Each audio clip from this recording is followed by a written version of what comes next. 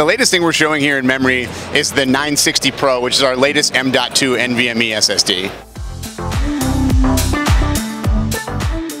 What this guy is bringing to the table is amazing speeds, portability and the fact that it put it in so many different like platforms, whether you know smaller builds, full size builds, and to get the performance of 3,500 megabits per second read 2100 megabits per second write is just something in the SSD space it's a tremendous achievement for us. So we offer two tiers. So we're showing the 960 Pro as our latest, but we also have an Evo tier as well. You know, for a lot of the gaming customers coming in that want to build the latest and greatest machine, the Evo would be a great fit, and the Pro be for that high-end gamer and also folks that are maybe thinking about doing video editing, rendering 4K content, that are looking for that top-tier performance and data transfer speeds. Just going to a traditional SSD over a standard hard drive, you're talking increases of five or 10 times times the speed. And then if you go to an M.2 platform like the 960, it's like an, another five times in speed and performance. The major thing you want to look for is whether or not you have the compatibility in the motherboard. That's the biggest thing that we see.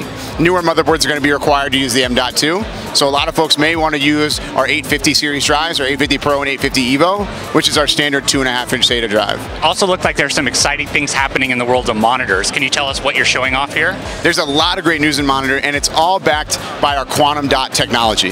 Now, if you think about it, quantum dot's been a huge part of Samsung's portfolio, mainly in the television sector.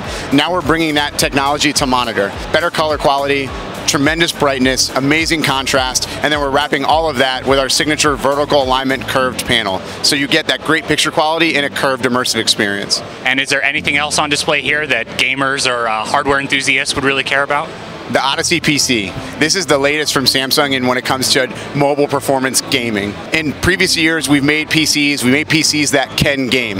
Yes, it comes with a graphics card, but that doesn't encompass what a gamer really wants out of the machine. So our new Odyssey lineup puts them first. We're including features like a mechanical keyboard, NVIDIA GTX powered graphics, LED backlighting, our hex cooling system, 7th Gen i7s, and on the 17 inch model, you even get two M.2 slots and up to 64 gigs of DDR4 memory. We're unveiling it here at CES. It's one of the highlights of our booth.